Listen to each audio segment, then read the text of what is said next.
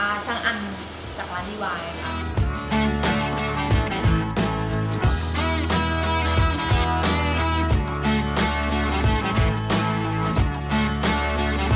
อันสักครั้งแรกตอนประมาณอายุ 16 16 ใช่ประมาณม .4 นะคะอือฮึงานเล็กเป็นยังไงครับทำไมต้องถึงอยากสัก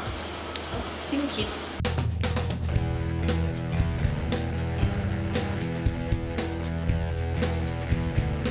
แล้วตอนนั้นที่สักมารายแรกเนี่ยเรายังเรียนอยู่ใช่ไหมใส่วิทย์ด้วยค่ะอะคณิต